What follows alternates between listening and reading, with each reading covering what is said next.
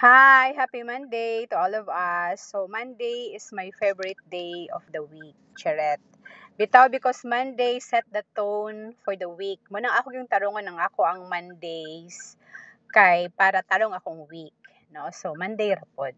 Bitaw oy joke.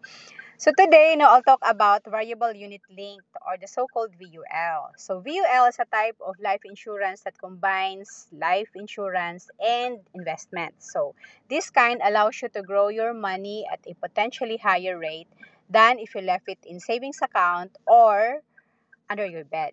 But the return is not guaranteed. So just like any other legit or legal businesses, no, returns are not guaranteed. No? So Actually, this is not for everyone. Para lang ni sa mga tao nga naay aggressive risk appetite o long-term investment horizon.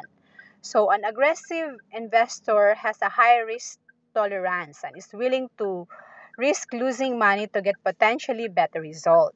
And when an investor has a high or has a long-term investment horizon, he can hold it for 15 to 20 years or even longer and take on more risk since the market no, takes years to recover in the event of a pullback. So that's all. I hope that helps.